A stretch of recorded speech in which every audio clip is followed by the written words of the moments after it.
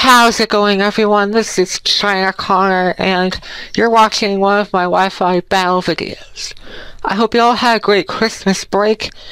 For me, I got an iPhone for Christmas, and we're going to try it out in this battle video, just to see how well I can handle with the camera and stuff. Alright, so today's opponent is a guess his way, be sure to go check out his stuff and his YouTube channel. I'll put it down in the description. But this is a fun match where I get to try to use my Mega Lopunny. Um, but yeah, Dexter the Granbull comes in. I'm not really sure why he went for Thunder Wave because Granbull is pretty slow in general. I don't have any speed investment in there, so and uh, I just go ahead and KO him right back with a play rough there. And now we have a problem because he has a I don't know if it's scarfed, but it's a Zangoose that probably well okay, so life orb variant, so never mind on that. But he's able to two hit KO my cook, the Rotom Heat, so that's unfortunate there. I never get a chance to use that thing in this battle, but it's alright, because we have Mega Lopunny. Now this is the Lopunny that I got from Necro Stevo, so it's packing Fake Out with Ice Punch, which I hope I get a chance to use right here. He has a Mega Altaria, which transforms into uh, Dragon Fairy, so he's not going to get KO'd by an Ice Punch. It's still super effective. I know he's going to go for a Hyper Beam boosted by Pixelate, there's no way I can live a Hyper Beam from that thing, because Lopunny is now, well, Mega Lopunny, I should say, Mega Lopunny is part fighting now. Knowing that he has to recharge a turn, I decided to bring in my Specs and i Analytic Siberium, the the Beheeyem, and just destroy him with a Psychic, and that worked out pretty well. I like Siberium. I've used him in my Wi-Fi battles in Black and White, X and Y, and now in ORAS. Anyway, so I bring in Dexter again just to lower his attack because I noticed how strong that thing is. He was able to KO my, my Rotom Heat there, as you saw.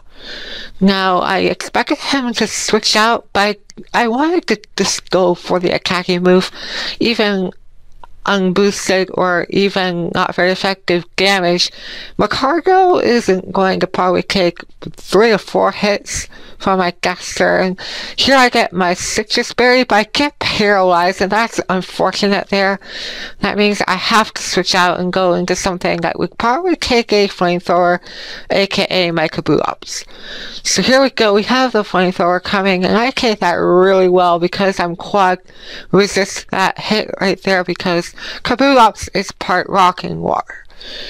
Now, I expected him to switch out, knowing that there's Kabutops I knew he had a melodic Maybell, so I switched into my analytic Starmie, or no, analytic Beheeyem. I have an analytic Beheeyem and an analytic Starmie. I'm not really sure which one is better, but I think Siberium is a little bit better because Starmie forces switches and I go last with my Siberium, so there could be a debate on that.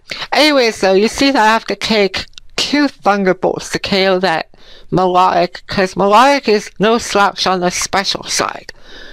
He brings back in uh, his Zangoose and guys, I, I, I could switch out there, but at that level of HP, I can't really take another hit. So I go ahead and sacrifice my Siberium. And usually had close combat because that's what most Zangoose run for coverage right there. And I bring in Umbreon as he does that. And here I go for Wish.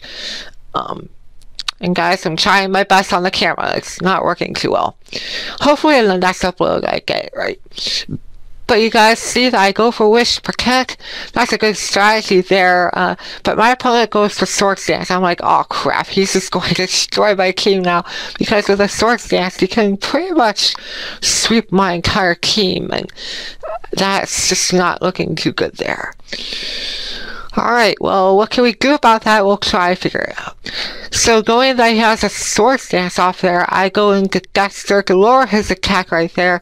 He could have gone for another Swords Dance expecting that, but that's not very likely there.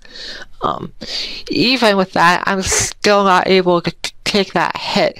Either way, I would have been outsped because Granbull is pretty slow and all that stuff. So I lose Granbull there, but I bring back in Kabutops, who surprisingly outspeeds Zangoose. I was very surprised about that, because Kabutops doesn't have a high speed stat, but apparently it does.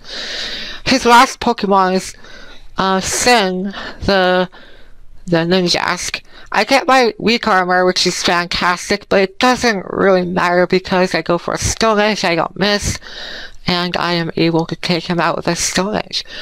So, that was a good battle there. Uh, of course, we have to deal with Post, but I can outspeed him as well with a Waterfall attack.